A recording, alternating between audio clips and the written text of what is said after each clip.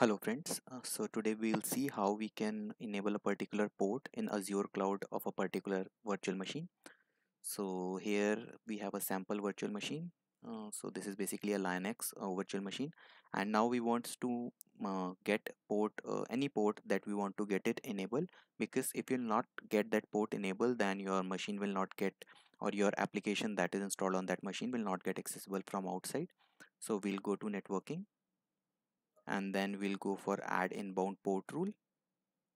And then here uh, you can give any source range from where you want to access your machine and whatever you want to restrict. So all the these things you can place here. And in case of destination whatever you want to give as of now i'm uh, just uh, doing is for testing purpose.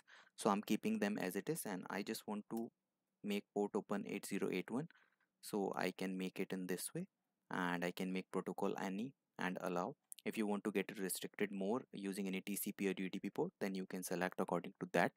And once uh, that is done you can just click on add and it will sync creating rule. And if you'll just refresh your page so you will see that 8081 port is open. So when you access your application with the help of IP along with port your application will get accessible from outside